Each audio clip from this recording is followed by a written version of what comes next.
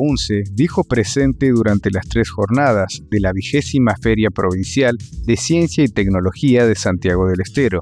En las instalaciones del Nodo Tecnológico, autoridades provinciales, municipales y educativas se dieron cita para inaugurar este encuentro y visitar los diferentes stands en compañía de estudiantes y docentes de todo el territorio provincial.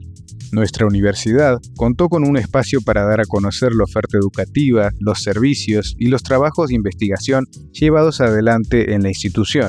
Además, se entregaron los premios a la innovación UNCE 2023 a modo de reconocer los proyectos que promuevan el desarrollo de iniciativas científico-tecnológicas, innovadoras y vinculadas con las áreas de investigación estratégica de nuestra universidad.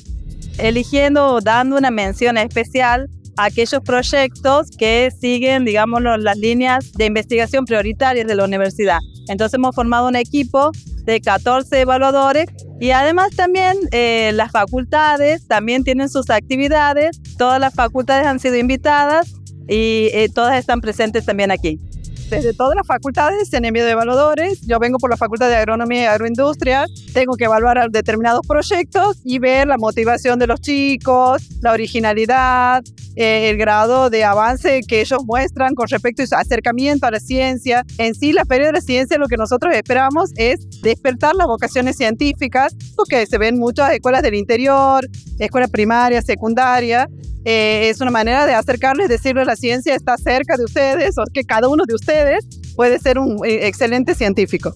Nuestro proyecto se trata sobre un libro que viene a actualizar los manuales de Santiago del Estero tiene imágenes actualizadas como información de diferentes regiones. Y nuestra problemática surge cuando en las microexperiencias no había material actualizado sobre Santiago del Estero. Entonces planteamos este libro con juegos para que puedan aprender de esa forma. Nosotros referimos a esa mirada a poder mostrar imágenes e información actualizada de los diferentes cambios e innovaciones que hubo en la provincia, sin dejar de lado obviamente los contenidos conceptuales que se imparten desde la enseñanza primaria. Cabe destacar que todas estas imágenes y toda la información son de nuestra autoridad de nuestros compañeros y de los docentes que nos acompañaron.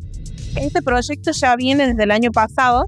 Nosotros pasamos a instancia nacional, entonces este año lo volvimos a presentar con el agregado de que tiene toda la información de la Albigasta, allá en Fría, que es nuestra región, del NOA, que sería la parte de Catamarca, Santiago y Tucumán. Trabajamos con distintos organismos como el INTA para ver la región económica, cómo ellos avanzaron en todo eso. Santiago del Estero creció muchísimo y era muy necesario que los chicos desde cuarto grado ya sepan que Santiago del Estero no es el que se estudiaba antes, sino que se innovó, cambió muchísimo. Así que esa es nuestra propuesta.